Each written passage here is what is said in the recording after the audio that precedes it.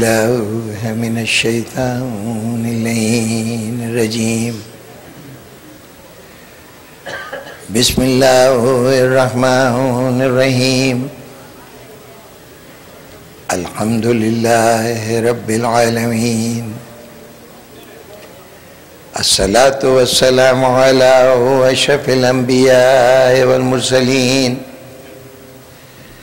وعلى آله وإترته وأهل بيته الطيبين الطاهرين المعصومين صلوات.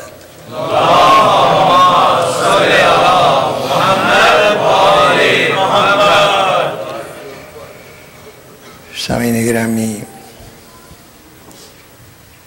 ایک مسلسل گفتگو کا نقطۂ آغاز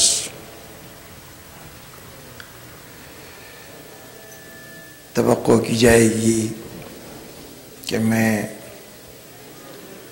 سرنامہ خطاب کا اعلان کروں۔ لیکن ابھی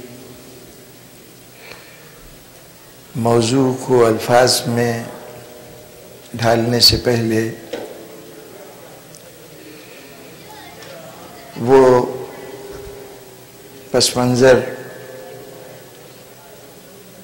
پیش کر دوں کہ جس میں عنوان کلام خود بخود واضح طور پر ذہنوں تک منتقل ہو سکے۔ انسان دنیا میں جب قدم رکھتا ہے تو زندگی کے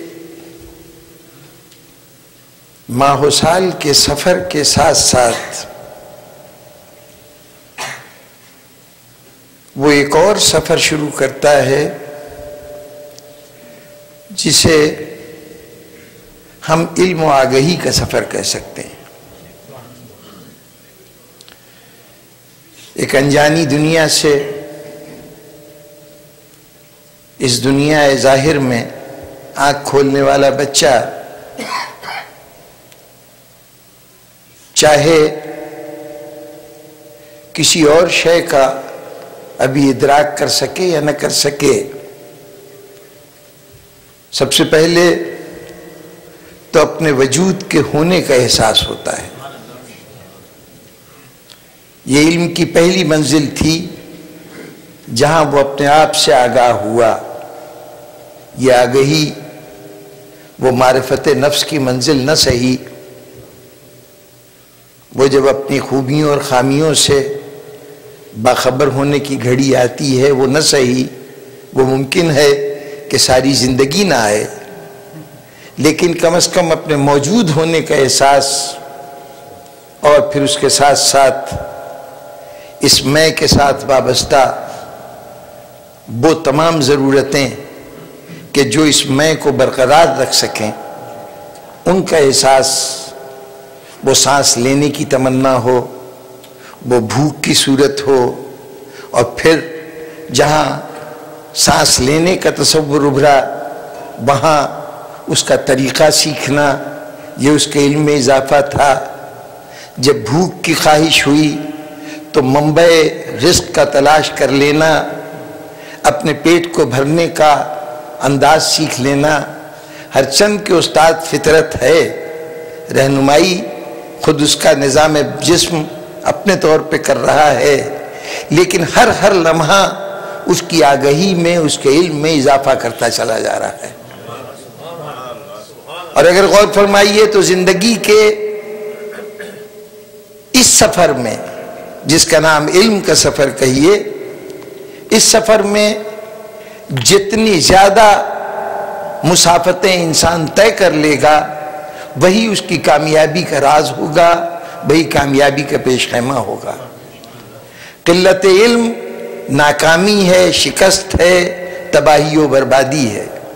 اور کثرت علم بقا کا سامان ہے اور کائنات پر انسان کے تصرف کی دلیل ہے۔ یہ علم کا سفر جاری رہتا ہے۔ لیکن یہ تمام علم جو انسان حاصل کر رہا ہے اس دور میں اور اس کے بعد زندگی کے اور مدارج پر، اس علم کے لیے قدرت نے اس کو پانچ وسیلے عطا کیے ہیں۔ حواس کی وہ پانچ صورتیں کہ جو کچھ وہ جانتا ہے، یا اپنی نگاہوں سے دیکھ کے جانتا ہے، کانوں سے سن کے آگاہ ہوتا ہے، زبان سے چک کر اس سے باخبر ہوتا ہے۔ ناک سے سونگ کر واقف ہوتا ہے، ہاتھ سے چھو کر اس کے متعلق کچھ نہ کچھ اندازہ ہوتا ہے۔ تو علم کے یہ پانچ وسیلے ہیں جو انسان کو حاصل ہیں۔ وہ چاہے زیر زمین کی حقیقتیں ہوں، بالائے آسمان کی خبریں ہوں، جو کچھ کائنات میں انسان جان سکتا ہے، وہ انہی پانچ ذرائع کو استعمال کر کے وہ جانتا ہے۔ اور اس کے ذریعے سے اپنی زندگی کے مراحل کو طے کرتا جاتا ہے۔ غور فرمائیے کہ ترقی کے جتنے مدارج گزرے ہیں، وہ انسان کسی مشاہدے کی بنیاد پر قائم ہوئے ہیں۔ وہ جو جو فتوحات حاصل کرتا گیا ہے، نظام قدرت کی جن جن طاقتوں کو اپنے قبضے میں لاتا گیا اور ان پہ تصرف حاصل کرتا گیا، وہ اس کے مشاہدے کا ہی انہی پانچ صفات کا ہی نتیجہ تھا کہ ان چیزوں پہ تصرف حاصل کرتا گیا، اختیار پیدا کرتا چلا گیا۔ جب تک وہ احساس کے ان پانچ وسائل کو استعمال کر کے علم حاصل کر رہا تھا، یقیناً کامیابیاں اس کا قدم چوم رہی تھیں۔ لیکن اب انسان کو اس مرحلے پر رک کر ذرا یہ غور کرنا چاہیے کہ اگر اس کے علم کا منبع صرف یہی پانچ وسیلے ہوں، تو ابھی انسان اس سطح پہ ہے جو کسی اور حیوان کو بھی حاصل ہے۔ غور فرمائیے کہ انسان کے اگر یہی پانچ ذرائع علم کے ہوں، تو یہی پانچ ذرائع وہ ہیں جو دنیا کے تمام حیوانوں کو انہی ذریعوں سے علم حاصل ہوتا ہے۔ وہی سماعت ہے، وہی شامہ ہے، وہی بسارت ہے، وہی لمس کا احساس ہے، وہی ذائقہ ہے۔ یہی پانچ صفتیں ہیں جو تمام حیوانوں کو علم فراہم کرتی ہیں، اپنے ماحول سے آگہی فراہم کرتی ہیں۔ تو گویا جب تک حصول علم کے یہ پانچ ذرائع ہوں، انسان ابھی صرف حیوان ہے، انسان نہیں بنا۔ یہاں تک ابھی اس کی سطح اسی حیوانیت کی سطح ہے، بلکہ اگر تھوڑا سا غور و فکر سے اور کام لیں تو شاید یہ کہیں کہ ہر چند کے حیوان ہے۔ حیوان میں بھی کوئی بلند مقام نہیں رکھتا، بلکہ شاید پسترین مقامات میں سے ایک مقام ہو۔ اس لیے کہ جب اسی حواس کو انہی حصوں کو ہم دوسرے حیوانات میں دیکھتے ہیں، تو کہیں دیکھتے ہیں کہ کسی پرندے کی بسارت اتنی زیادہ ہے کہ وہ فضا میں پرواز کرتے ہوئے چالیس پچاس میل کے فاصلے پر بھی اپنے شکار کو دیکھنے میں کامیاب ہو جاتا ہے۔ جبکہ قوت نظر ہماری اتنی صلاحیت نہیں رکھتی۔ ہم جانتے ہیں کہ سونگنے کی صلاحیت حیوان میں ایسی ہے۔ ہم خوشبو اور بدبو میں تو امتیاز کر لیتے ہیں، لیکن ہمیں یہ امتیاز نہیں ہے کہ سون کے فیصلہ کر سکیں کہ یہ چیز کھانے کی ہے یا کھانے کی نہیں ہے۔ کتنے حیوان ہیں جن کی قدرت نے غذا مقرر کی ہے کہ تمہیں صرف گوشت کھانا ہے۔ کتنے حیوان ہیں جن کے لیے نباتات کو ان کی غذا قرار دیا گیا ہے۔ آپ نے دیکھا کتا راستے سے گزر رہا ہے۔ راستے میں کتنی کھانے کی چیزیں موجود ہوں، لیکن سونگ سونگ کر چھوڑتا جائے گا۔ ہاں جہاں اس کی غذا میسر ہے، اسے کھا لے گا۔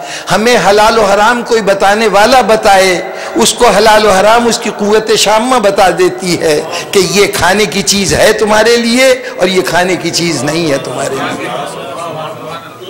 اس احساس کا کم از کم انسان مقابلہ نہیں کر سکتا۔ جہاں تک حص لمس کے حص کا تعلق ہے یا سماعتوں کے حص کا تعلق ہے، تو ہم نے یہ تفصیلات بھی سنی کہ اگر زلزلہ آنے والا ہو، تو سیمسوگراف آپ کو اس وقت کی خبر تو دے سکتا ہے کہ جو زلزلہ آیا تھا، اس کی کیا قوت تھی، کیا حیثیت تھی۔ لیکن ابھی تک کوئی اعلیٰ ایجاد نہیں ہو سکا جو آنے والے زلزلے کی خبر دے سکے۔ لیکن اہل نظر اطلاع دیتے ہیں کہ جب زلزلہ آنے والا ہو، تو اس کی علامتوں میں سے ایک علامت ایسی ہے کہ چونٹیاں اپنے بلوں سے باہر نکل آتی ہیں، سوراخوں سے باہر آ جاتی ہیں۔ اس لیے کہ ان کو قدرت نے یہ سکھا رکھا ہے کہ اگر زمین کی تہیں آپس میں تہو بالا ہوئیں، تو تمہارے ننے ننے سوراخ اپنی جگہ پہ مسمار ہو جائیں گے اور اس میں تم اپنا وجود ختم کر بیٹھو گی۔ اس لیے وہ پہلے ہی اپنے ان گھروں سے ان پناہ گاہوں سے باہر نکل آتی ہیں۔ زلزلہ آنے سے پہلے اب بتائیے، زلزلے کے دبے قدموں کی آہٹ کو سننے کی صلاحیت انسان کو تو حاصل نہیں ہے۔ جو ان چیوٹیوں کو حاصل ہے، حقیر چیوٹیوں کو۔ غرض، اگر ان حیوانوں کی ان صفات کو دیکھیں تو اتنی غیر معمولی ہیں کہ اس کو اندازہ ہوتا ہے کہ انسان اس کی ذرہ برابر بھی ان کے برابری نہیں کر سکتا۔ تو اگر احساس ہی واحد ذریعہ ہو ارد گرد کے ماحول سے باخبر کرنے کا تو انسان نہ صرف یہ کہ حیوان ہے بلکہ کمتر درجے کا حیوان ہے کیونکہ یہی ذریعہ دوسرے حیوانوں کو ہم سے بہتر حاصل ہے۔ پھر یہ انسان وجود آدمیت سے انسانیت کی سطح پہ کب آتا ہے؟ وہ انسان جو دنیا میں حیوانوں کی صف میں پیدا کیا گیا ہے، وہ اشرف المخلوقات انسان کب بنتا ہے؟ اس کے لیے ضروری ہے کہ اس کے پاس کوئی ایسا ذریعہ علم ہو کہ صرف اشیاء کی تفصیل نہ بتائے، یہ نہ بتائے کہ کون سی شے کیسی نظر آ رہی ہے، کیسی نرم یا گرم ہے، اس کو چھو کر اس کی کیفیت کا اندازہ نہ لگائے، بلکہ یہ بھی بتائے کہ کون سی شے اچھی ہے، کون سی بری ہے، کس کا استعمال صحیح ہے، کس کا غلط ہے۔ یہ صحیح غلط کا علم یہ اچھے برے کا علم، یہ اشیاء کی ظاہری صورتوں میں نہیں ملے گا۔ حواس اس کی خبر نہیں دے سکے گا۔ اس کی خبر دینے کے لیے کوئی ایسا ذات چاہیے کہ کچھ وہ باتیں بتا سکے کہ جو مشاہدہ نہ بتا سکتا ہو۔ کوئی ایسا ذریعہ علم جو ہمیں ان چیزوں سے باخبر کر سکے۔ جو ہمیں سب سے بڑی بات اس انسان کے سامنے اللہ نے جو عقل دی ہے، مشاہدے کی تمام اطلاعات ملنے کے بعد جب وہ یہ دیکھتا ہے کہ اس کائنات میں موجود کوئی شے ایسی نہیں ہے جو بلا مقصد تخلیق کی گئی ہو۔ جب وہ دیکھتا ہے کہ معمولی سے معمولی، حقیر سے حقیر چیز کا بھی کوئی نہ کوئی مقصد ہے، کسی نہ کسی غرض سے اس دنیا میں وہ نظر آتی ہے، تو اس وقت اس کے ذہن میں یہ سوال پیدا ہوتا ہے کہ خود اس کے وجود کا مقصد کیا ہے؟ جن کو اللہ نے اپنے نظام تکوین کا پابند کیا ہے، جنہیں کن کہہ کے خلق کیا ہے اور کن کے نظام کے تحت ہی وہ زندگی گزار رہے ہیں، وہ تو جانتے ہیں کہ ان کا مقصد وجود کیا ہے۔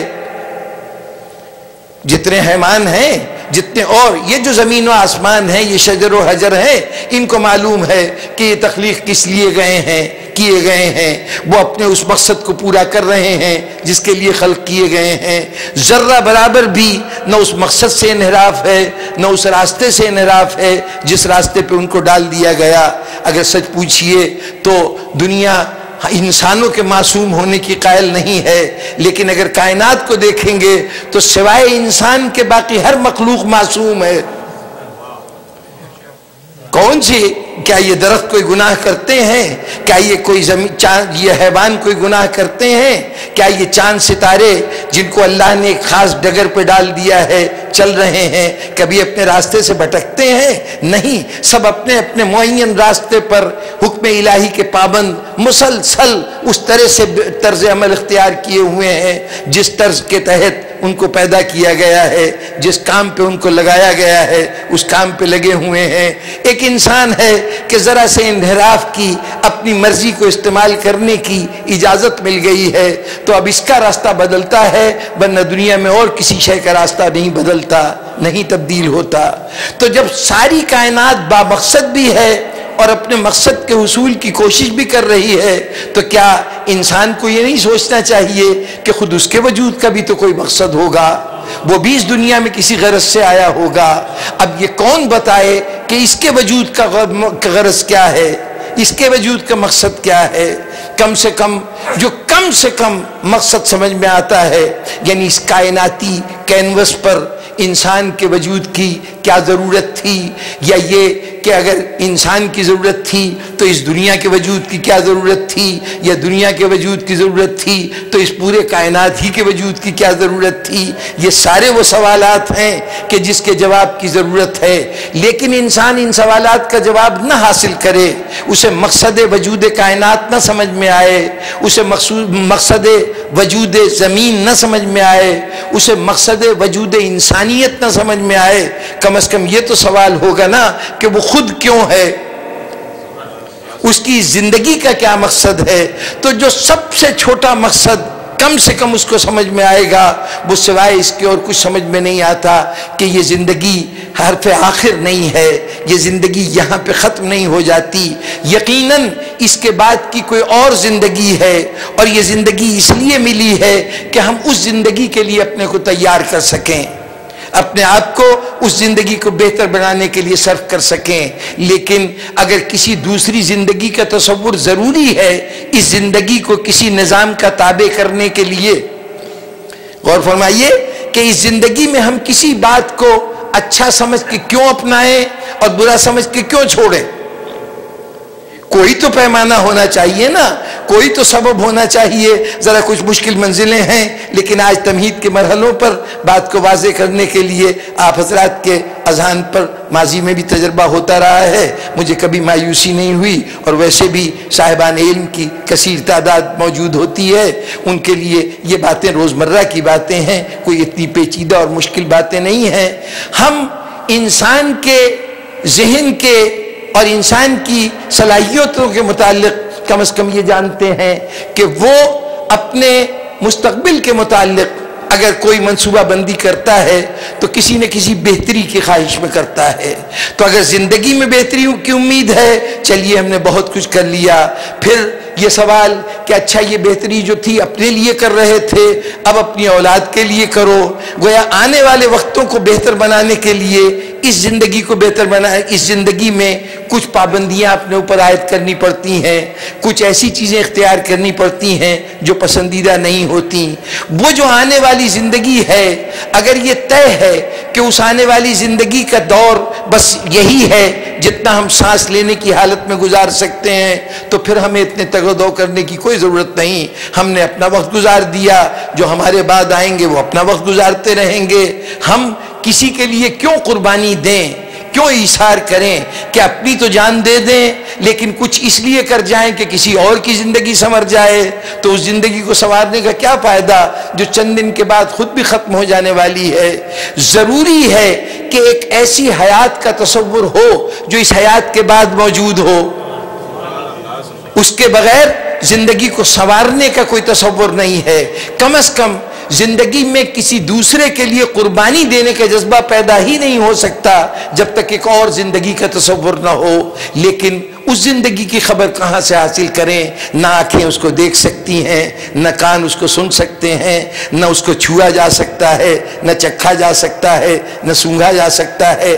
حواس کے پانچوں ذریعے اس زندگی سے باخبر نہیں ہو سکتے۔ اب یہاں ضرورت ہوتی ہے کسی اور ذریعے کی کہ جو اس جگہ کی خبر دے، جو حصیات کے دائرے سے باہر ہیں، جو ہماری فائیو سینسز سے باہر کی دنیا ہے، اس کی خبر کو دینے کے لیے کسی اور ذریعے کی ضرورت ہے۔ وہ ذریعہ کہ جو اس غیر غیر محسوس کو، اس ایبسٹریکٹ کو، اس تجرید کو ہمارے سامنے باقاعدہ کانکریٹ شکل میں پیش کر سکے۔ ہمارے لیے اس علم کو پیش کر سکے جو ہم ان پانچ ذرائع سے حاصل نہیں کر سکتے۔ بس جناب والا، وہ سلسلہ، وہ ذات وہ شخصیتیں، وہ افراد جو ہمیں غیر محسوس کو محسوس بنا کے پیش کرتی ہیں، جو اس ماباد طبیعت کو میٹا فزکس کو فزکس بنا کے دنیا کے سامنے پیش کرتی ہیں، اس ذات کا نام نبی ہوتا ہے۔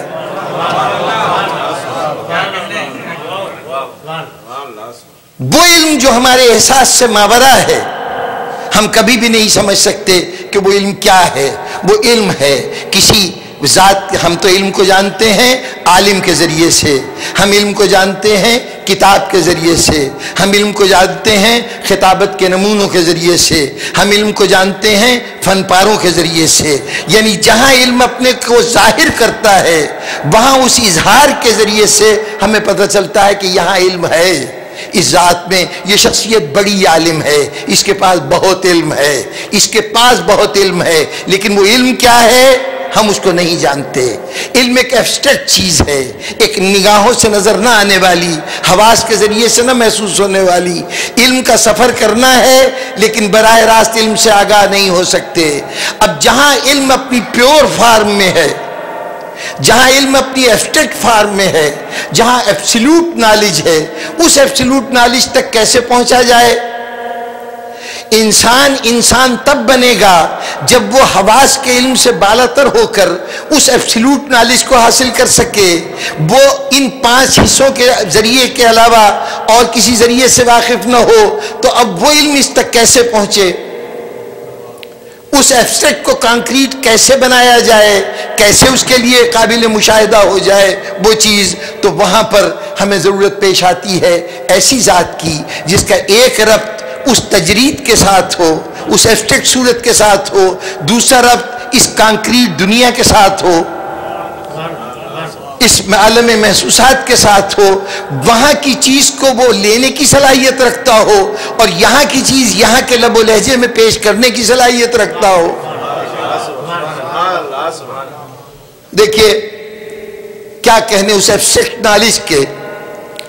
خدا کے پاس جو علم ہے، وہ وہی مجرد علم ہے۔ لیکن آپ سے کیا کہا گیا؟ آپ سے کہا گیا، اس کے پاس ایک لوہے محفوظ ہے۔ اس لوہے محفوظ پر، اب یعنی لوہے محفوظ ایک تختی ہے، ایک سلیٹ ہے۔ اس کے اوپر کائنات کی تمام باتیں، تمام صداقتیں، جو کچھ ہو چکا ہے وہ بھی درج ہے، جو کچھ ہوگا وہ بھی درج ہے۔ یہ سب اس لوہے محفوظ پہ درج ہے۔ جب ہم نے لوہ کا لفظ سنا ایک تختی کا لفظ سنا، اس کے اوپر تحریر کا لفظ سنا، تو اب ہمیں، ہماری سمجھ میں آیا کہ چلیے، کوئی ایسی ڈاکومنٹ ہو گیا، ہوگا کہ جس میں کائنات کی سارے باتیں درج ہوں گی۔ یقیناً وہ ڈاکومنٹ نہیں ہے، کوئی تختی نہیں ہے، کوئی باقاعدہ قلم سے لکھی گئی عبارت نہیں ہے، کسی خاص زبان میں درج کی گئی بات نہیں ہے۔ وہ ایبسلوٹ نالج ہے، لیکن اس ایبسلوٹ نالج کو ہم نہیں سمجھ سکتے تھے۔ ہمیں یہ کانکریٹ فارم بنا کے ہمارے سامنے پیش کیا گیا۔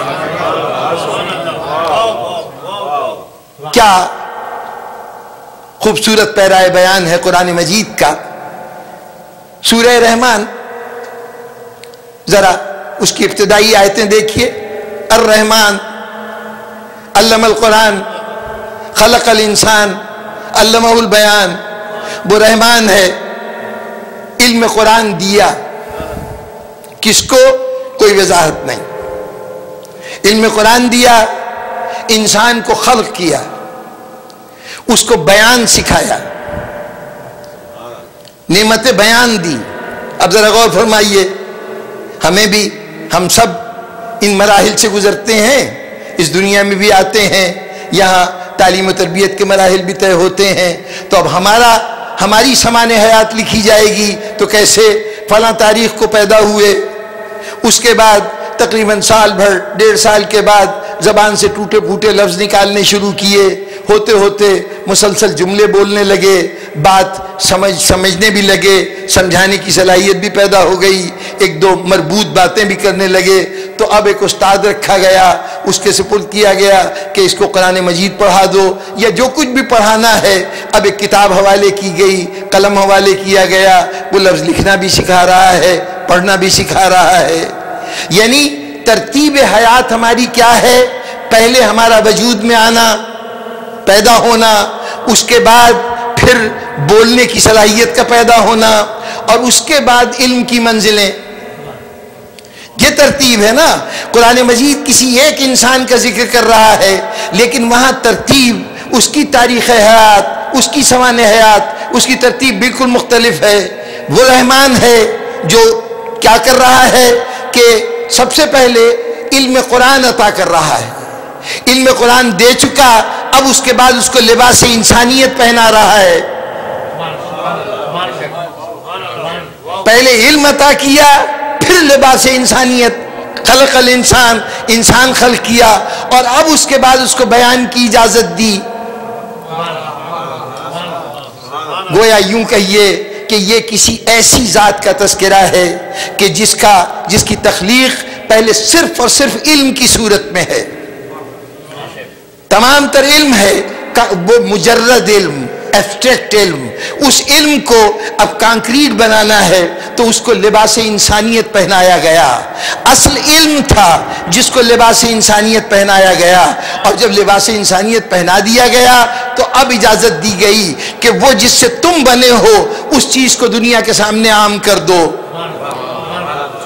اپنے اس علم کو دنیا تک منتقل کر دو۔ اب یہ سوائے اس ذات کے اور کون سی ذات ہو سکتی ہے کہ جو کائنات کی تخلیق اول ہو۔ تخلیق اول اس جسم انسانی میں نہیں اس جسم انسانی میں نہیں، بلکہ وہ وہ علم ہے کہ جو ذات الہی کے ساتھ مستقل طور پر ہے، اس علم میں سے اللہ نے اس علم کو ایک جسم عطا کیا اور اس جسم کو پھر پہلا جسم تو وہ دیا کہ جب شخصیت کی روپ میں وہ علم ہمارے سامنے آیا، دوسرا وجود اس کو الفاظ کی سر شکل میں ڈالا یہ الفاظ ہمیشہ سے نہیں تھے۔ علم خدا ہمیشہ سے ہے، لیکن لفظ ہمیشہ سے نہیں تھے۔ یہ لفظ اس کا کنکریٹ اظہار ہے، اس ایبسٹیکٹ کا۔ تو یہ الفاظ کا جامع پہنایا گیا۔ پہلے جس میں انسانی میں ڈھالا گیا علم، پھر الفاظ میں ڈھالا گیا علم۔ جب جس میں انسانی میں ڈھلا تو رسول کہلایا، جب الفاظ میں ڈھلا تو قرآن کہلایا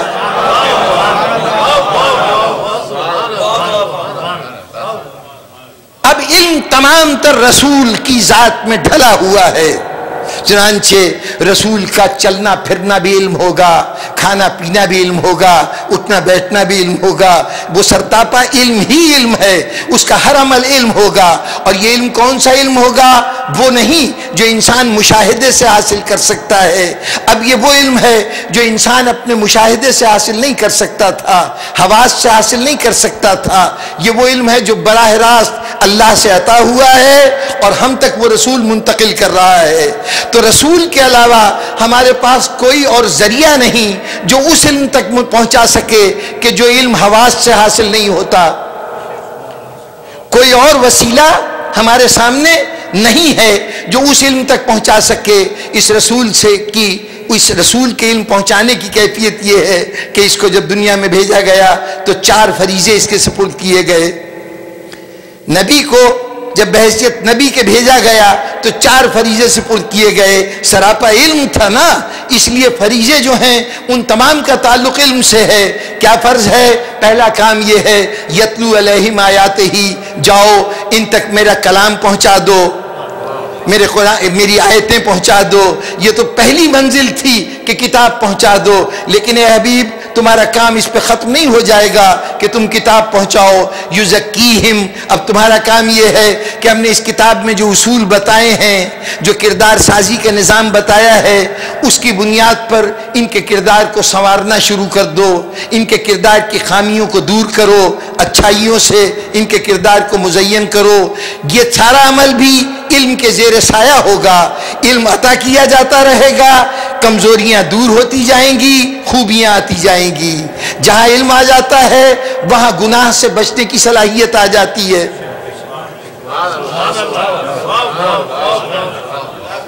غلطی، خطا کی گنجائش کہاں ہے؟ جہاں علم نہ ہو۔ سامنے مختلف قسم کے صفوف پڑے ہوئے ہیں۔ سب کا رنگ سفید ہے، سب چھوٹے چھوٹے ذرات تو مشتمل ہیں۔ دیکھنے میں نمک بھی نظر آ سکتا ہے، شکر بھی نظر آ سکتا ہے نظر آ سکتی ہے۔ اور یہ بھی محسوس ہو سکتا ہے کہ شاید یہ زہر ہو۔ اب اگر یہ زہر ہے اور میں شکر کھا کے، سمجھ کے کھا لوں اور اس کے ذریعے سے موت سے دو چار ہو جاؤں تو اس میں میری خطا کیا ہے؟ میری خطا لا علمی ہے۔ میں جانتا نہیں تھا کہ یہ شہد، یہ شکر ہے یا زہر ہے۔ لا علمی میری موت کا سبب بن گئی۔ غلطی تب ہوئی جب علم نہیں تھا۔ اگر ایک مرتبہ پتہ چل جائے کہ اس کاغذ میں رکھا ہوا، اس شیشی یا اس بوتل میں رکھا ہوا صفوف زہر ہے تو دنیا کا کوئی زی شعور آدمی اس کی طرف ہاتھ نہیں بڑھائے گا، بلکہ اس کے ساتھ رکھی ہوئی اگر بے ضرر چیزیں بھی اس سے مشابہت رکھتی ہیں، تو وہ کہے گا، خبردار، ان چیزوں کو ہاتھ نہیں لگانا، کہیں ایسا نہ ہو کہ دھوکہ ہو جائے اور اس شبے میں تم غلط چیز اٹھا لو۔ علم نے غلطی سے بچا لیا۔ علم نہیں تھا، غلطی کا امکان موجود تھا۔ جیسے جیسے علم بڑھتا جائے گا، غلطی کا امکان ختم ہوتا جائے گا اور جہاں علم کامل ہو جائے گا، وہاں غلطی سرے سے ختم ہو جائے گی۔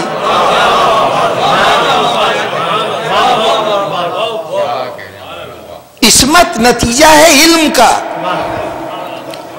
عصمت معصوم ہونا نتیجہ ہے علم کا۔ اگر علم ہو، ہمیں بھی معلوم ہو کہ جو ضرور رساں چیز ہے، وہ اس سے کیا کیا نقصان ہو سکتا ہے۔ ان نقصانوں سے آگہی ہو جائے تو ہم خود بخود اس سے پہلو چھڑا لیں گے۔ اس سے ہم اس کی طرف ہاتھ نہیں بڑھائیں گے۔ لیکن چونکہ ہم نہیں جانتے لا علمی کی وجہ سے وہ باتیں کر لیتے ہیں کہ جن کو جن میں بظاہر ہمیں خوبی نظر آتی ہے، ہمیں ان کی خابیوں کا پتہ نہیں ہوتا، جو ان کی اصل سے واقف ہیں، جو جانتے ہیں کہ اس کے اندر خامیاں کیا کیا ہیں، ضرر کا کیا کیا امکان ہے، نقصان کیا کیا پہنچا سکتے ہیں، وہ کبھی وہ کام نہیں کریں گے جو ان کے لیے باعث ضرور ہو۔ چنانچہ وہاں پر گناہ کی کوئی گنجائش نہیں، جہاں علم کامل ہو۔ اگر کوئی کسی کو گنہگار قرار دیتا ہے، تو صرف اس وقت قرار دے سکتا ہے جب وہاں علم موجود نہ ہو۔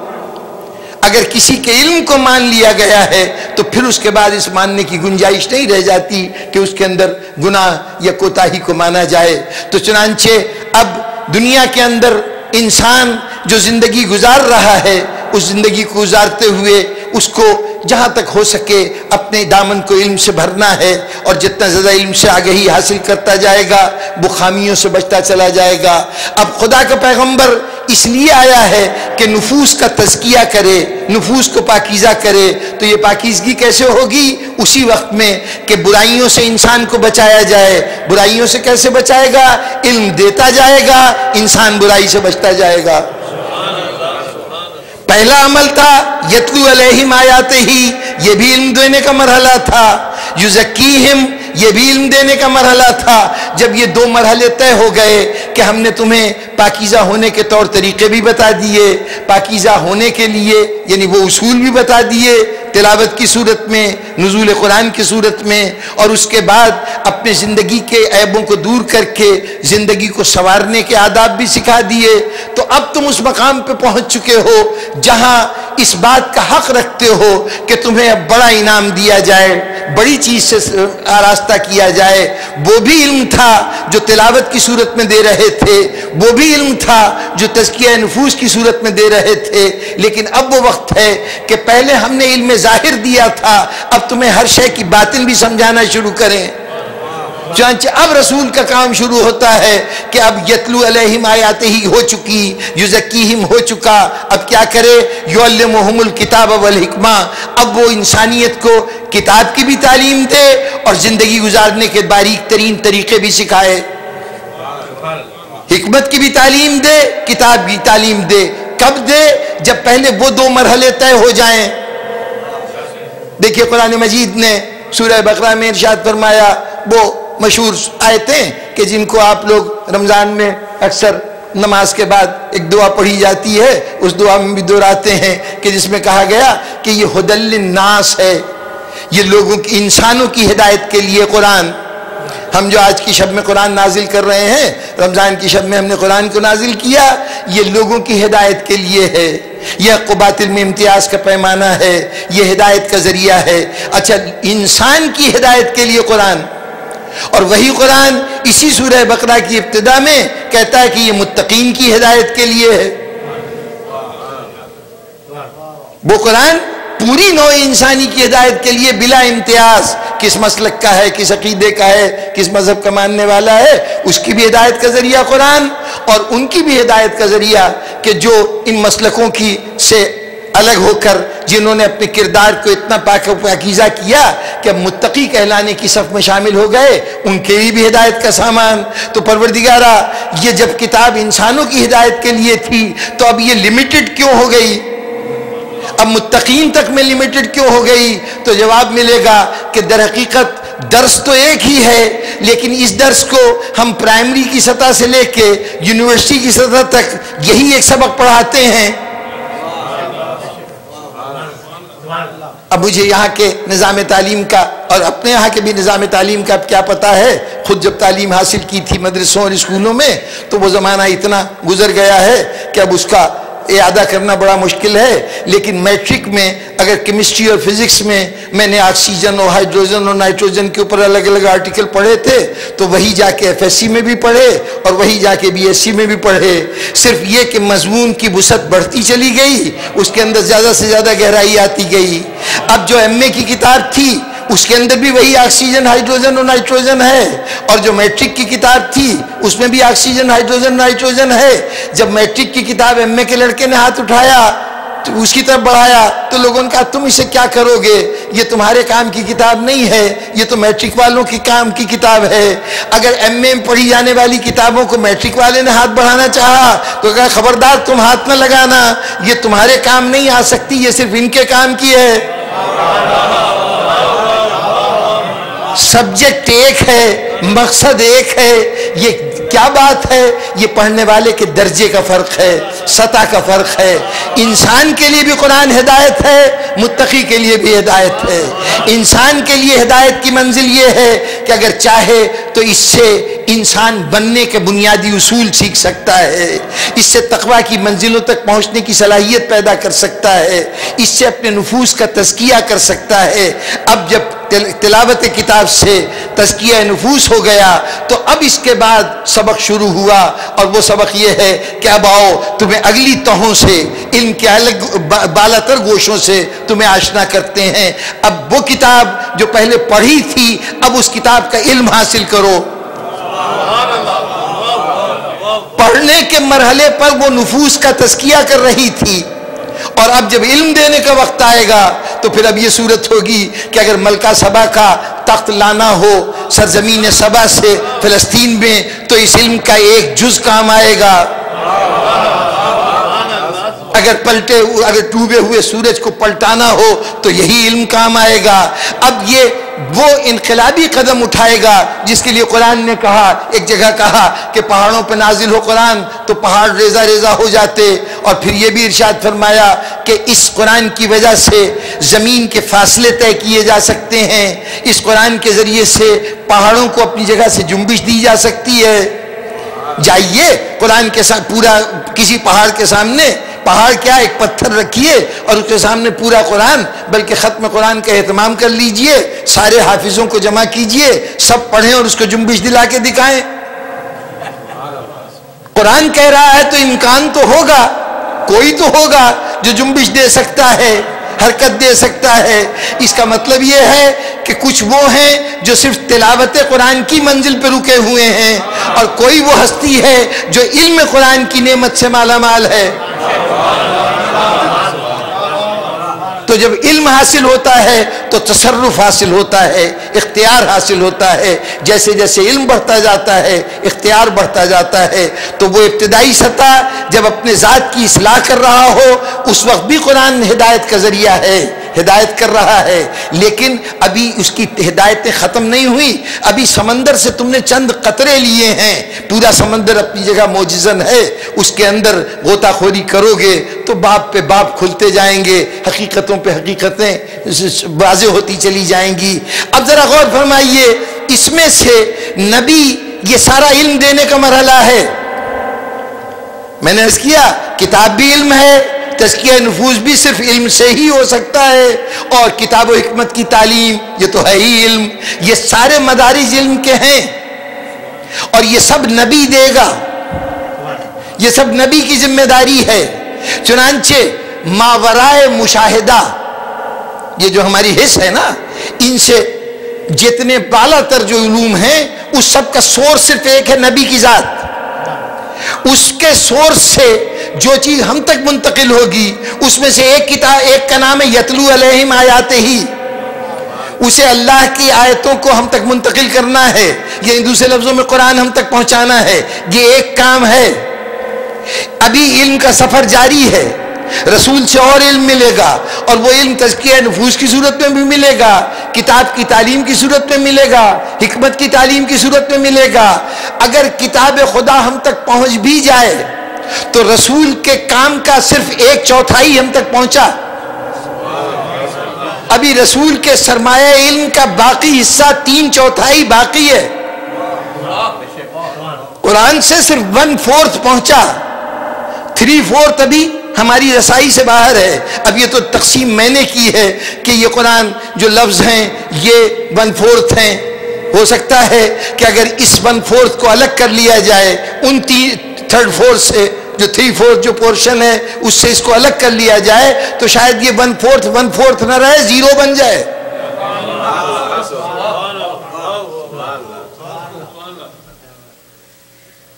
میرے پاکستان کے سفارت خانے کے ایک دوست جو انفارمیشن سروس سے تعلق رکھتے تھے، انہوں نے اپنا ایک تجربہ بتایا۔ غالباً ان کی پوسٹنگ یہیں برطانیہ میں وہ لندن کے اندر مقیم تھے۔ تو وہاں ترکی کے سفارت خانے کے سفیر اور ان کی اہلیہ ایک دن ان کے دفتر میں آئے۔ آپس میں سفارت خانے کے لوگ ایک دوسرے سے ملتے رہتے ہیں۔ ان کی میز کے اوپر یا اللہ اور یا محمد کے دو بڑے خوبصورت سے یوں سمجھیے کہ وہ تختیوں پہ لکھے ہوئے، وہ فریم کر کے انہوں نے میز پہ رکھ، رکھے تھے ڈیکوریشن کے طور پر۔ وہ جب تشریف لائے تو وہ دیکھتے رہے، ان کے شوہر بڑی دیر تک اس کے بعد کہنے لگے کہ یہ جو یہ ڈرائنگ ہے، یہ کیا ہے؟ یہ کوئی پیس آف آرٹ ہے؟ یہ میں نے ایک آدھ جگہ اور بھی دیکھا، یہ کیا چیز ہے؟ ابھی ایک مسلمان دوسرے مسلمان سے پوچھ رہا ہے۔ اس لیے کہ انہوں نے اپنے یہاں ہر چیز کو رومن رسم الخط میں یعنی انگریزی حروف کے اندر منتقل کر لیا، اپنی زبان کو بھی اور قرآن مجید بھی اگر وہ پڑھتے ہیں تو رومن حروف میں لکھا ہوا پڑھتے ہیں، وہ عربی کے رسم الخط سے نا واقف ہیں۔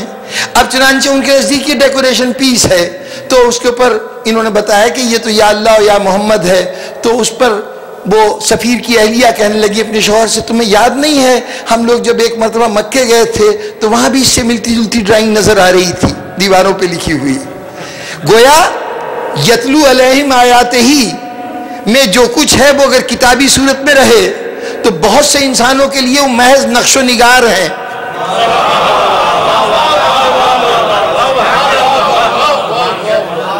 یہ تو اسی وقت کتاب خدا بنے گی نا جب جو علمحم الکتاب والحکمہ کی منزلوں میں سے کچھ طے ہو۔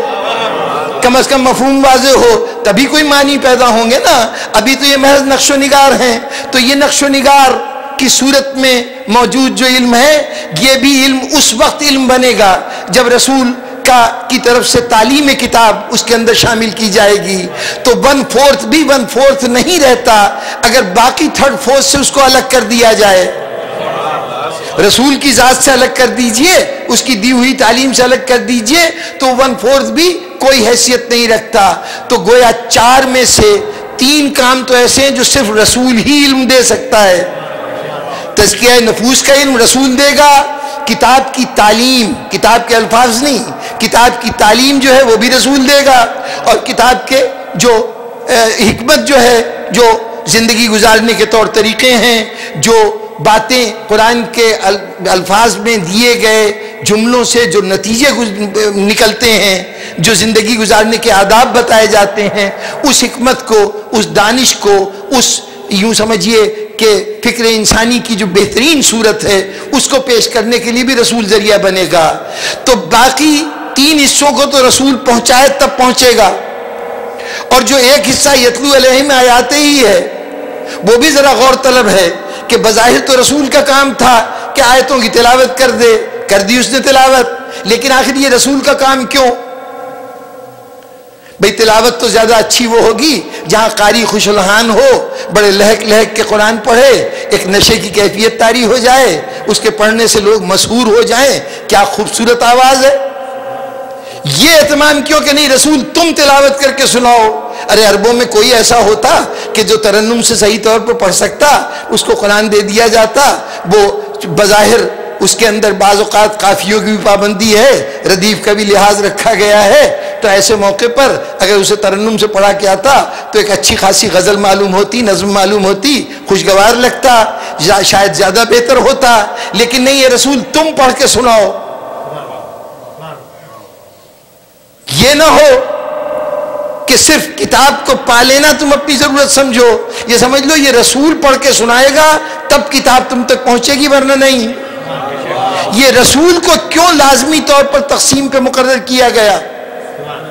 تو بات یوں سمجھ میں آئی کہ اس زندگی میں ہم جب گفتگو سنتے ہیں کسی سے بھی بات چیت ہو رہی ہو، تو بظاہر بات تو لفظوں میں ادا ہو رہی ہوتی ہے، لیکن لفظوں کے ساتھ ساتھ ہاتھوں کے اشارے بھی ہوتے ہیں، چہرے کی کیفیت بھی ہوتی ہے، انداز بیان بھی ہوتا ہے۔ یہ سب چیزیں مل کے اس کو کہتے ہیں لہجہ۔ یہ لہجہ جب ہے، اس کو جب لفظوں کے ساتھ ملاتے ہیں، تب جا کے معنی بنتے ہیں۔ لہجہ الگ کر دیجیے، لفظ بہت سے ہیں، وہ ان کے معنی کچھ کے کچھ ہو جائیں گے۔ اب مثالیں دینے کی ضرورت نہیں ہے۔ صاحبان فہم کا مجمع ہے۔ اچھی طرح جانتے ہیں۔ ایک بات کو ایک طریقے سے کہیے۔ کہیں پاس یہاں سے ہٹ کے یہاں ہو جائے تو بات کہیں سے کہیں پہنچ جاتی ہے۔ وہ ایک لطیفے کے طور پر سنایا جاتا ہے کہ کسی جگہ پر کسی گارڈ ڈیوٹی پہ کچھ لوگ کھڑے تھے، انہوں نے گزرنے والوں کو روک دیا کہ جی تمہیں جانے کی اجازت نہیں۔ انہوں نے کہا، کیوں اجازت نہیں ہے؟ ہمارے پاس تو یہ کاغذ موجود ہے، جس کے اوپر لکھا ہوا ہے کہ ان کو روکو مت، جانے دو۔ انہوں نے کہا، کہاں لکھا ہے روکو مت، جانے دو؟ یہاں تو لکھا ہے، روکو مت، جانے دو۔ یعنی صرف پاس بدلا گیا ہے نا، جگہ بدل دی گئی، معنی بالکل الٹ کے رہ گئے۔ تو جہاں لہجہ داخل ہوا، وہاں معنی جا کے مکمل ہوتے ہیں۔ لہجے کے بغیر اب گھر میں کوئی صاحب تشریف لائے، آپ کھانے کی میز پہ بیٹھے ہیں، دو چار اور معزز حضرات تشریف فرما ہیں۔ اب اس موقع پر ایک جملہ یہ کہا گیا، آئیے، کھا لیجیے۔ اب اس جملے کو صرف لہجوں میں ادا کرتے جائیے، بات پتہ نہیں کہاں سے کہاں پہنچ جائیے، پہنچ جائے گی۔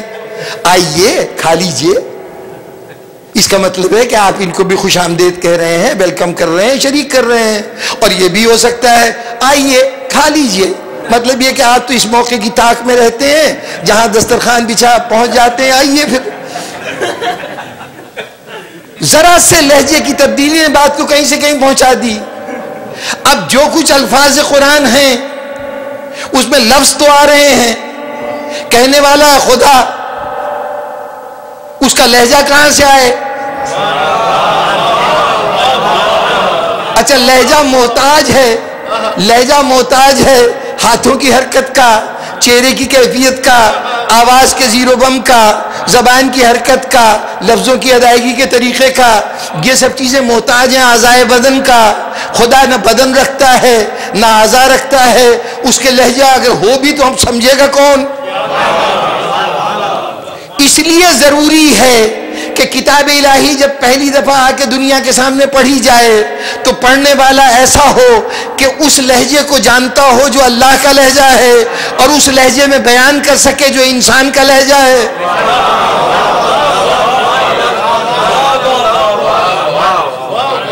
اس لیے کہا گیا یتلو علیہم آیات ہی۔ اے حبیب، یہ آیتیں صرف لفظ پہنچا دو گے، پتہ نہیں یہ کیا کیا سمجھیں بہتر یہ ہے کہ تم پڑھو، اور جب تم پڑھو تو صرف تم لفظ نہیں پڑھو گے، میرا لہجہ بھی منتقل ہوگا۔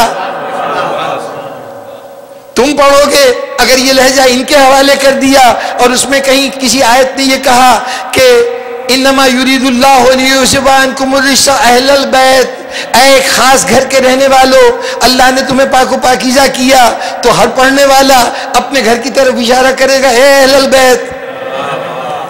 تو اے رسول، تم پہلے گھر بنا کے، اس میں کچھ لوگوں کو داخل کر کے، پھر آئس کو اس انداز سے پڑھ کے بتاؤ کہ اللہ کن لوگوں کو مراد لے رہا ہے۔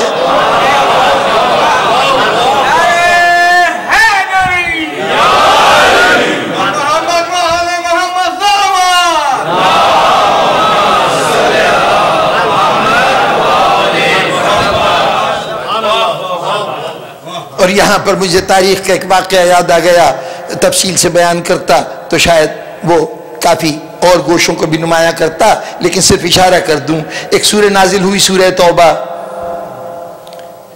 جس کا دوسرا نام ہے سورہ برات، قرآن مجید کی نمی سورہ۔ یہ سورہ حضور صلی اللہ علیہ وآلہ وسلم کے ایک صحابی کو آٹھ ہجری میں فتح مکہ ہوئی۔ نو ہجری، اس کے بعد جب دوسرا سال آیا، اس میں حج کا جب موسم آیا، تو حضور خود تو حج پہ تشریف نہیں لے گئے نو ہجری میں۔ آپ نے پہلا اور آخری حج دس ہجری میں کیا ہے۔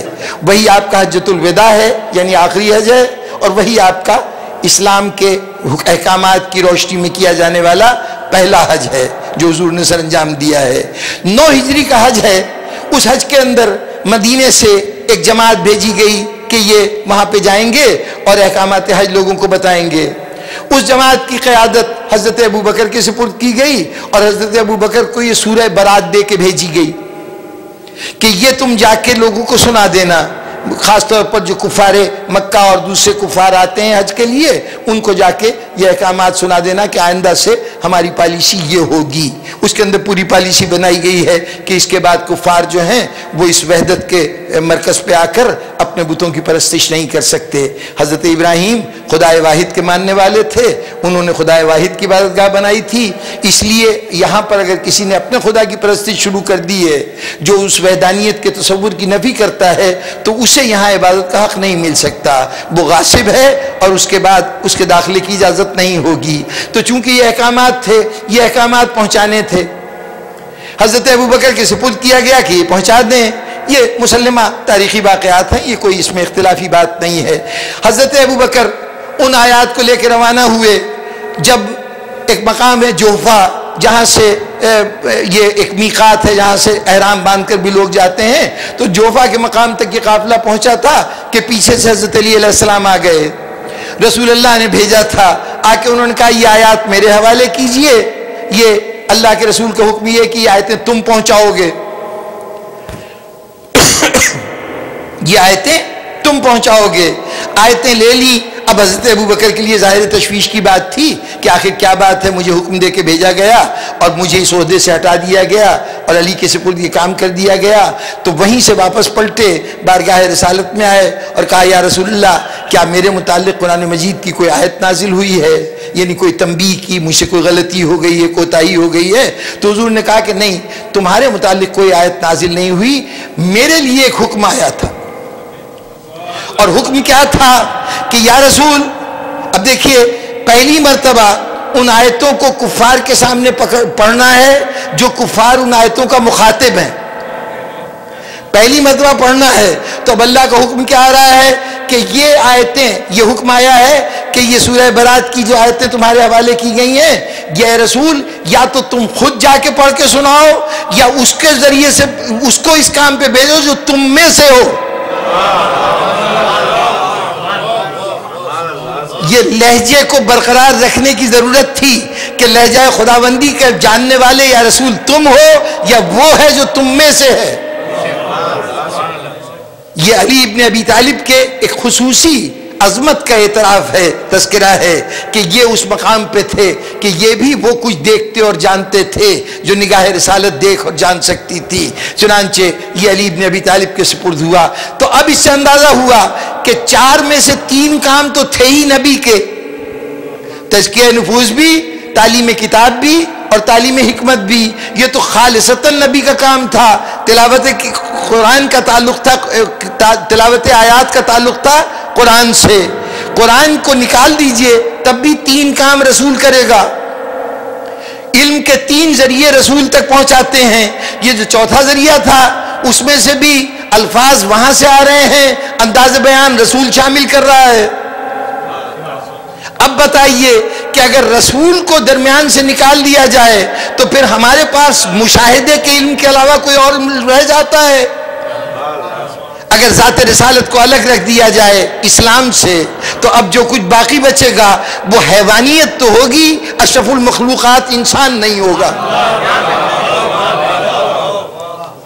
بس بزرگان گرامی، جب رسول کی ذمہ داری ہے کہ وہ ہم تک علم منتقل کرے اور علم وہ کچھ ہے، میں اس علم کی بات کر رہا ہوں، اس علم کی بات نہیں کر رہا جو انسان کو حیوان رکھتا ہے، جو انسان کو حیوان کی حیثیت سے زندگی گزارنے کی طریقے سکھاتا ہے۔ نہیں، میں اس علم کی بات کر رہا ہوں جو انسان کو حیوانیت کی سطح سے بلند کر کے انسان بناتا ہے۔ اس علم کی بات کر رہا ہوں جو انسان کو اشرف المخلوقات بناتا ہے کراؤن آف کریشن بناتا ہے۔ اس علم کی بات کر رہا ہوں جو اس دنیا کے ذریعہ فلاح ہونے کے ساتھ ساتھ آخرت میں بھی نجات کا ذریعہ ہے۔ میں اس علم کی بات کر رہا ہوں جو انسان کو اس کی مقصد حیات سے آگاہ کرتا ہے، جو انسان کو اس کی ذمہ داریوں سے اس کائنات میں اس کے مقاب و منصب سے آگاہ کرتا ہے۔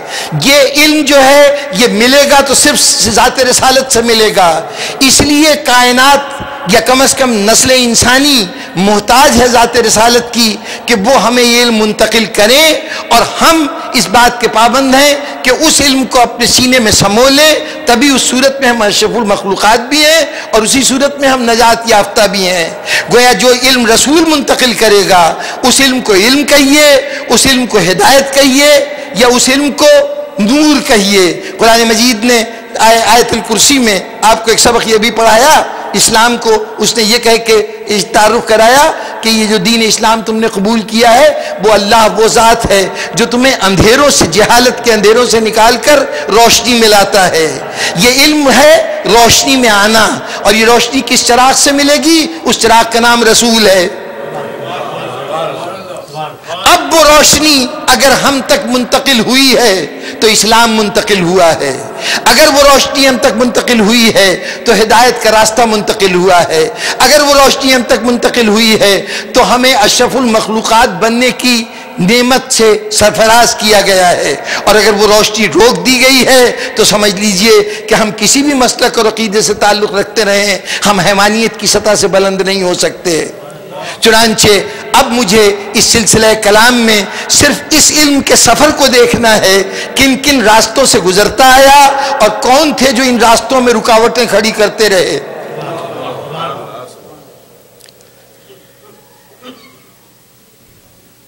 دو منٹ کی ایک بات عرض کر دوں۔ ظاہر ہے، علم تھا اندھیروں سے روشنی میں آنے کا نام۔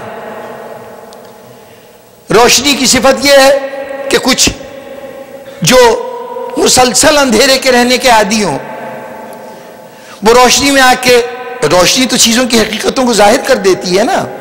اندھیرے میں نہیں پتا کہ کون سی چیز کی شکل کیا ہے، شباہت کیا ہے، فائدہ مند کون سی ہے، نقصان دہ کون سی ہے، کون کتنے فاصلے پہ ہے، کون کتنی قریب ہے، کسی کی جسامت کیا ہے۔ یہ سب تفصیلیں اندھیرے میں معلوم نہیں ہیں۔ روشنی آئی تو ہر ایک حقیقت ظاہر ہو گئی۔ جو خوبیاں رکھنے والی چیزیں ہیں، ان کی خوبیاں نظر آنے لگی۔ جو عیب رکھتی ہیں، ان کے عیب نظر آنے لگے۔ جس کا جو رنگ ہے، جو کیفیت ہے، وہ سامنے آ گئی۔ تو حقیقت کو واضح کر دینا روشنی کا کارنامہ ہے اور حقیقتوں پہ پردہ ڈال دینا اندھیرے کا کام ہے۔ جو اندھیرے میں رہنے کا عادی ہو، جس نے روشنی کی کرن کو نہ دیکھا ہو، اچانک اسے دن کی روشنی میں کھڑا کر دیجیے، اندھا ہو جائے گا۔ اسے کچھ نظر نہیں آئے گا۔ اب ایسے انسان کے لیے یا ایسے وجود کے لیے بہترین پناہ گاہ وہ اندھیرا ہے۔ چاہے گا کہ کوئی کوئی اس جلتے ہوئے چراغ کو گل کر دے، یہ سورج کو بجھا دے، اندھیرا ہو جائے، ورنہ میں پھر اس اندھیرے مقام پہ چلا جاؤں۔ کتنے ایسے حیوان ہیں، پرندے ہیں، چمگادڑے ہیں، یہ بیٹس یہ ہیں۔ یہ اپنے طور پر ان کی کیفیت یہ ہے کہ یہ غاروں میں رہتی ہیں۔ ایسی تاریخ جگہوں پہ رہتی ہیں جہاں روشنی نہ ہو۔ جب تک رات کا اندھیرا نہ ہو جائے، اپنی ان پناہ گاہوں سے باہر نہیں نکلتی۔ اور ادھر سورج کے طلوع کا وقت آیا، تیزی سے اپنے گھروں کو واپس آ جاتی ہیں۔ یعنی وہ چاہتی ہیں کہ وہ اندھیرے میں رہیں۔ اگر روشنی سے کہیں آشنائی ہو جائے، تو فوراً منہ پھیر کے اندھیرے کا رخ کرتی ہیں۔ اب یہ سوچئے کہ انسانیت کا وہ گروہ جو کفر کے اندھیرے میں مسلسل زندگی بسر کر رہا تھا، اس کے لیے علم کا سورج طلوع ہونا کتنا نہ ناگوار گزرا ہوگا۔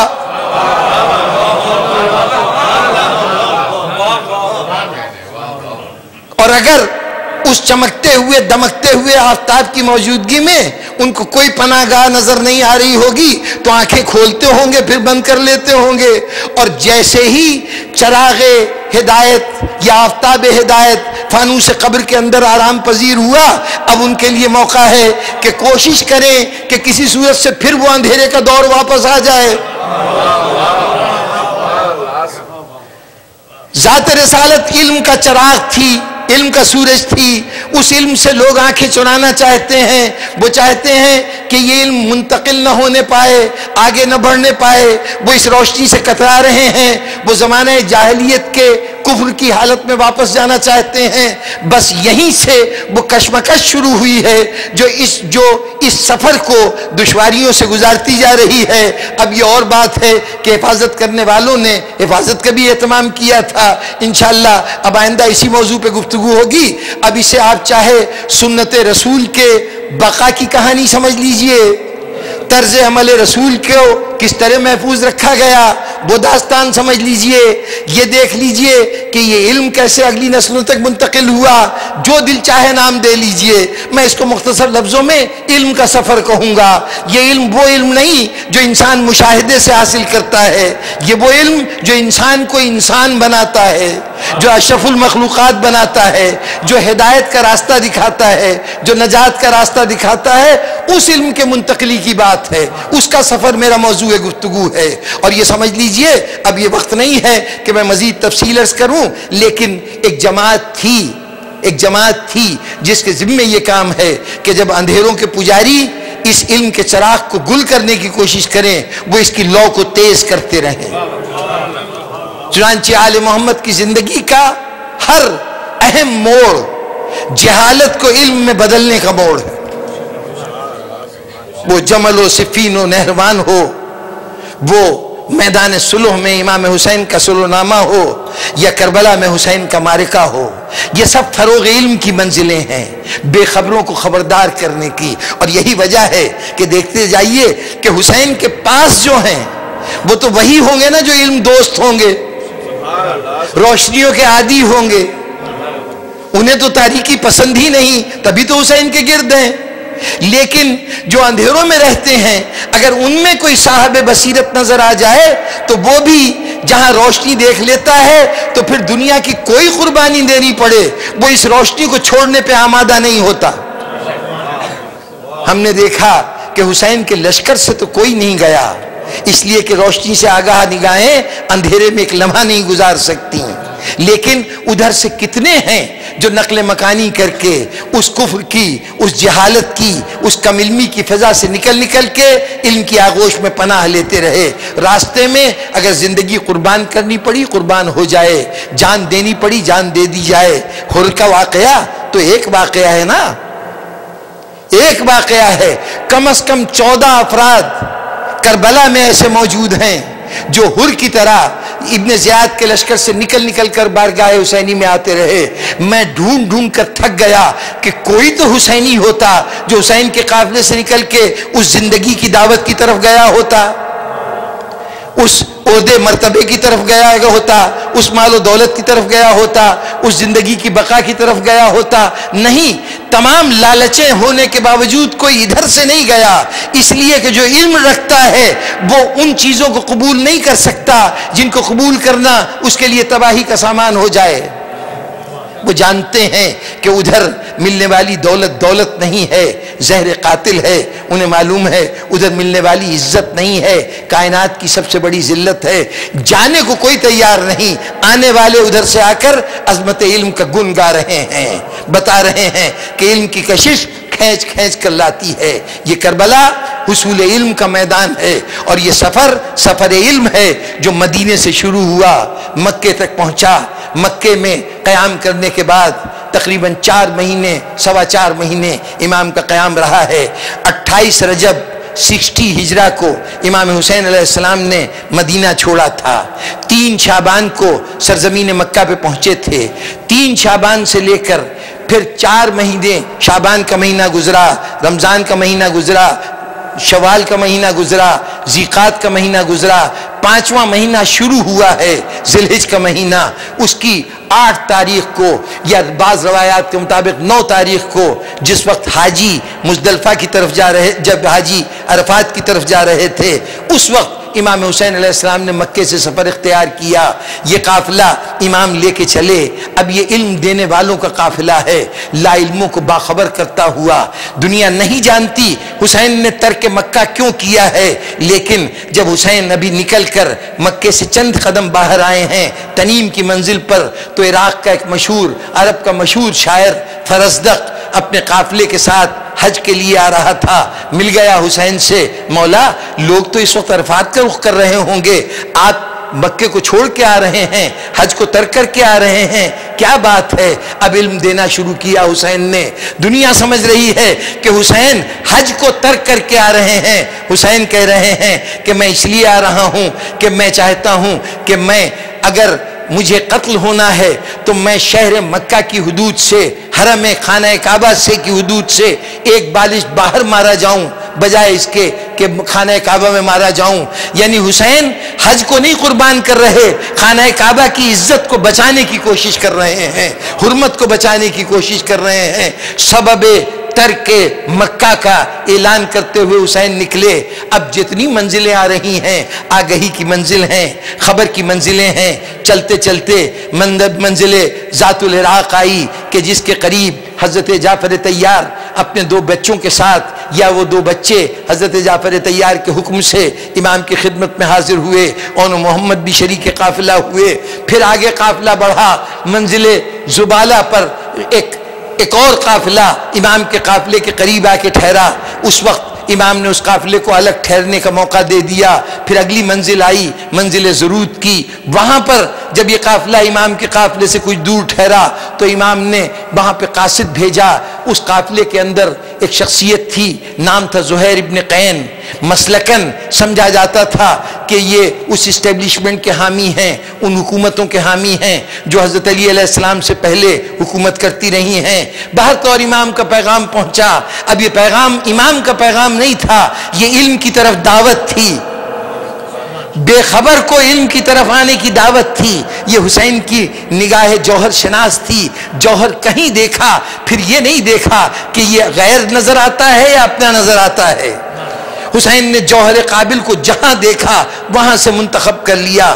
ہاں اس میں قبولیت ہے، اس میں صلاحیت ہے، یہ روشنیوں میں رہ سکتا ہے، یہ علم کی نعمت سے سرفراز ہو سکتا ہے۔ پیغام بھیجا زہر ابن قین کو کہ مولا حسین بلا رہے ہیں۔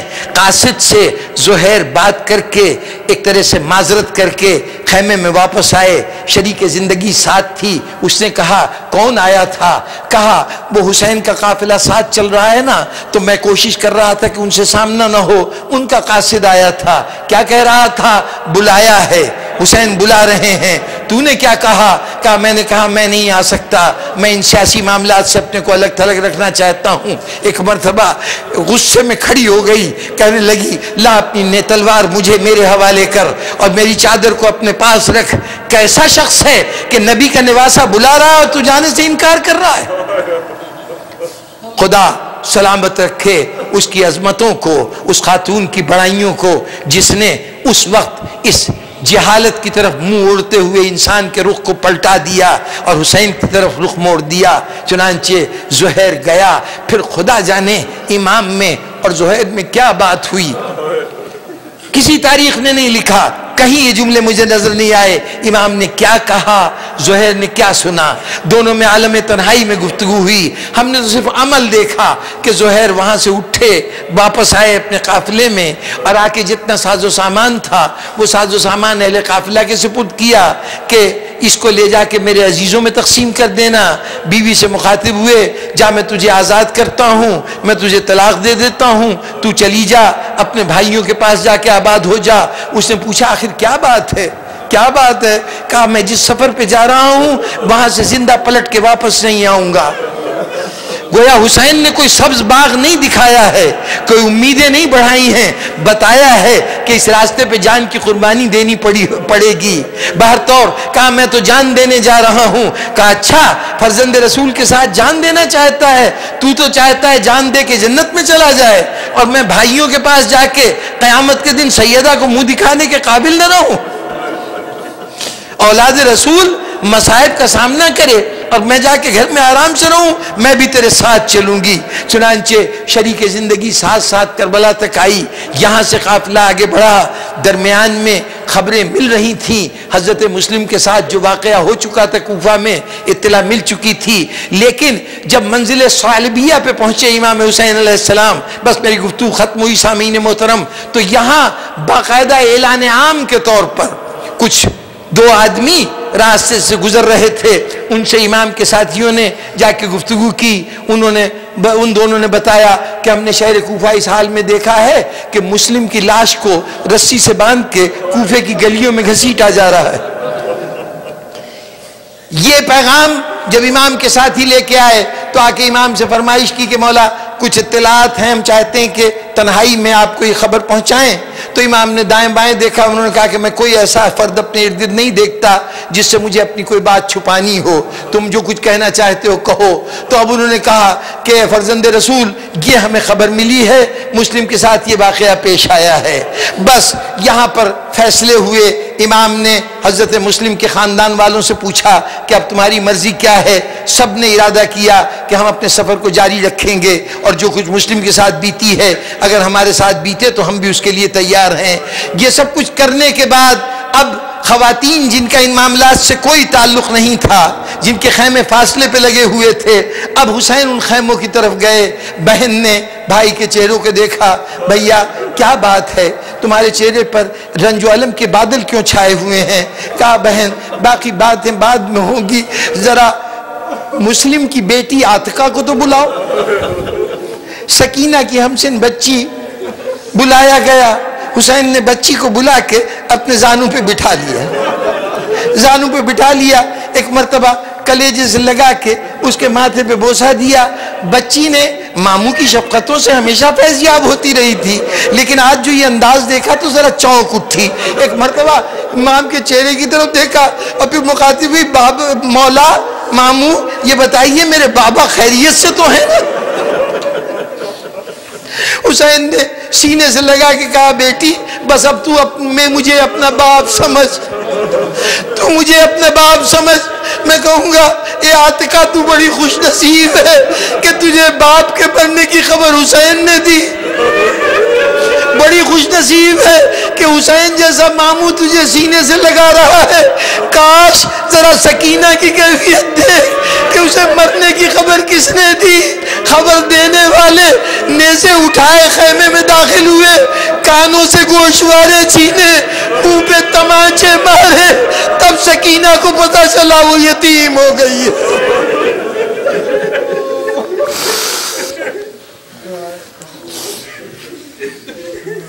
شعلم اللذین ظلموا ایامن قلبین قلبون رب العالمین، ہمیں معرفت کربلا کی توفیق عطا فرما۔ یا اللہ، ہمیں اس علم سے فیضیاب ہونے کی توفیق عطا فرما، جو ہمیں زبان رسالت سے ہم تک منتقل ہوا ہے۔ یا اللہ، ہمیں اگر تو نے اس علم کا امین بنایا ہے، اس کا محافظ بنایا ہے، تو یہ توفیق عطا فرما کہ ہم اپنی ذمہ داریوں کو بخوبی عطا فرما سکتے ہیں اللہم تقبل منا، انکا انت السمیع العلیم۔ ماتم حسین۔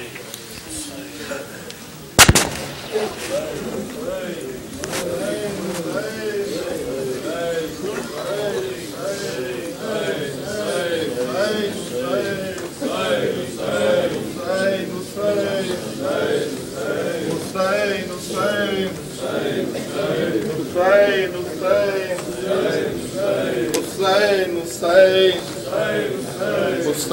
Hussein. Hussein, Hussein. Hussein, Hussein. Hussein, Hussein. Hussein, Hussein. Hussein, Hussein. Hussein, Hussein. Hussein, Hussein. Hussein, Hussein. Hussein. الحسين يا زهرة يا زهرة يا زهرة يا زهرة يا یا زہرا۔ یا اے میری بی بی اے میری بی بی تیرے در پہ استغاثہ ہے۔ تیرا ممنون میری شہزادی یہ جہاں سارا ہے یا زہرا؟ یا زہرا؟ یا زہرا؟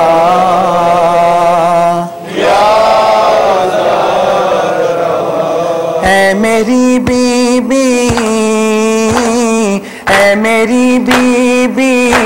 تیرے در پہ استغاثہ ہے، تیرا ممنون، میری شہزادی یہ جہاں سارا ہے، یا زہرا یا زہرا یا زہرا۔ تو ہمیں حفظ اور ماں دے دے، اپنی چادر کا سائبہ دے دے۔ تیری قدرت میں کیا نہیں بی بی تو جسے چاہے دو جہاں دے دے۔ یا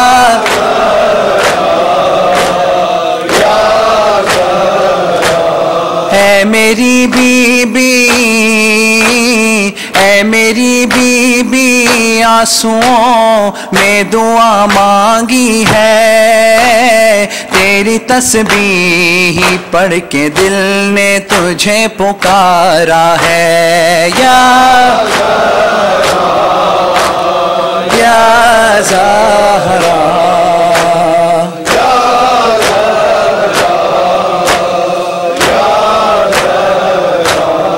فرش مجلس پہ اور مسلح پر ہر جواں کہہ رہا ہے، رو رو کر ہم رہے نہ رہے مگر بی بی تا قیامت رہے غم سرور، یا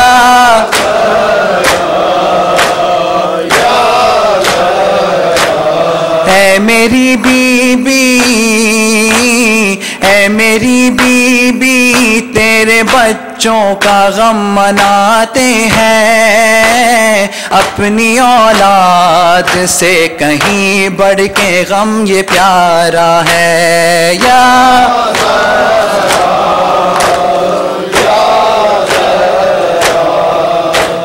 یا زہرا۔ فرض مومن سے غم جدا کر دے، بس غم کر بلا عطا کر دے۔ بے خطا قید میں جو ہے مومن، معجزے سے انہیں رہا کر دے۔ یا زہر اے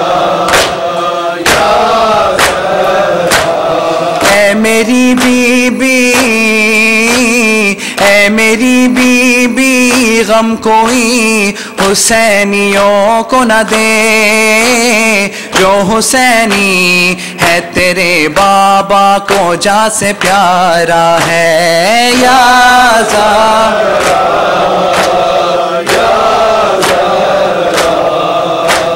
یا زہرا۔ مجلس غم میں اشک برسانے، آ سکے یا نہیں خدا جانے، کیا بھروسہ ہماری سانسوں کا؟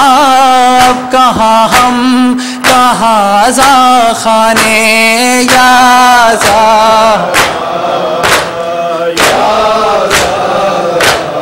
اے میری بی بی اے میری بی بی اشک کے غم تیری امانت ہے۔ تیری اولاد کے ہی غم نے ہمیں سوارا ہے۔ یا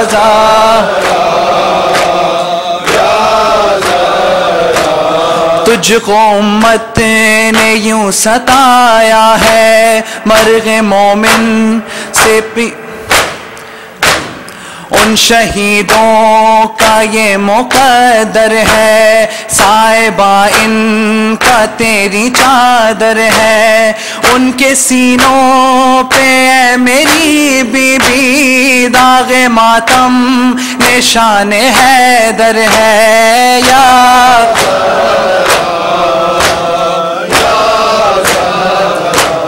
اے میری بی بی خلد میں شہید جب جائے، تیری آواز آئے، آنے دو، یہ ہمارا ہے۔ یا زہرا یا Zahra.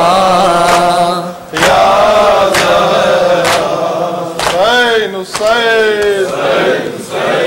Hussein, Hussein, Hussein, Hussein, Hussein, Hussein, Hussein, Hussein, Hussein, Hussein, Hussein, Hussein, Hussein, Hussein, Hussein, Hussein, Hussein,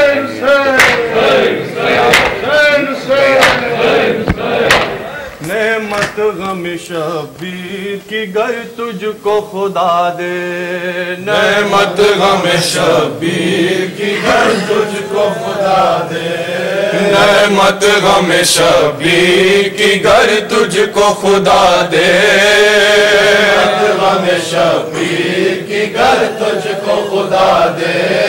دنیا کو پایا میں شہ مظلوم سنا دے۔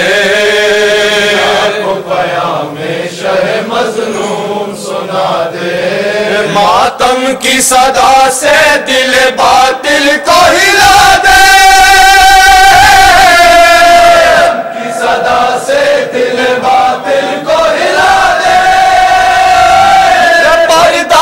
نگاہوں پہ ہے دنیا کی ہٹا دے۔ گھر گھر میں سفید ماتم شبیر بچھا دے۔ ماتم شبیر بچھا دے، گھر گھر میں سفے ماتم شبیر بچھا دے۔ گھر میں سفے ماتم شبیر بچھا دے۔ اے مرد، وہی کر کے جو وعدے کو نبھا دے۔ مرد، وہی کر کے جو وعدے کو نبھا دے۔ کی ضرورت ہو بہتر کا گلا دے۔ کی ضرورت ہو بہتر کا گلا دے۔ بازو علمدار دے بہنوں کی ردا دے۔ علمدار دے بہنوں کی ردا دے۔ جو کچھ بھی ہو سب راہ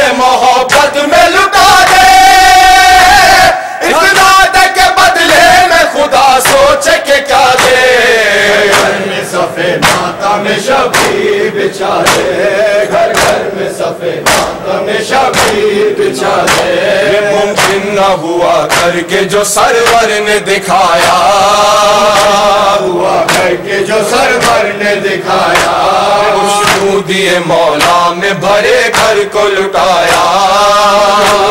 مولا میں بھرے گھر کو لٹایا۔ اکبر کو اٹھایا، کبھی اصغر کو سلایا۔ اٹھایا اصغر کو سلایا۔ شبیر نے سر دے کے زمانے کو بتایا۔ زندہ ہے وہی موت کی گردن جو جھکا دے۔ شبیر بچا چہرے پہ ملے خون قدم تیز بڑھائے۔ ملے خون قدم تیز بڑھائے۔ چہرے پہ ملے خون قدم تیز بڑھائے۔ خون قدم تیز بڑھائے۔ ایک ننھی سی میت کو کلے جیسے لگائے۔ میت کو کلے جیسے لگائے۔ یہ کون چلا جاتا ہے گردن کو جھکائے؟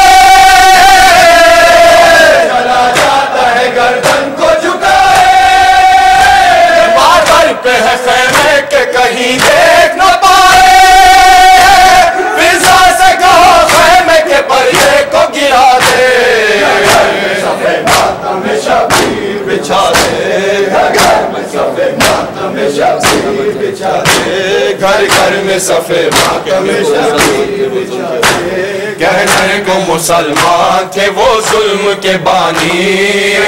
کو مسلمان تھے وہ ظلم کے بانی۔ کہنے کو مسلمان تھے وہ ظلم کے بانی۔ کہنے کو مسلمان تھے وہ ظلم کے بانی۔ مہمان بلا کر نہ دیا شاہ کو پانی۔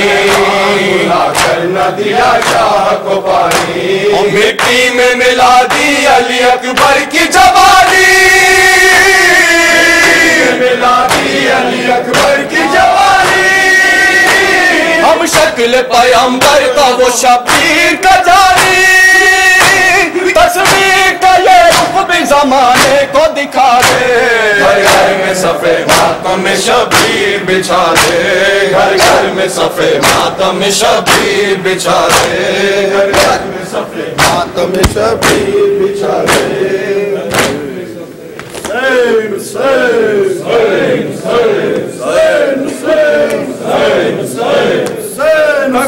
زبانوں پہ علمدار علمدار عباس علمدار عباس علمدار اب تک ہے زبانوں پہ علمدار علمدار عباس علمدار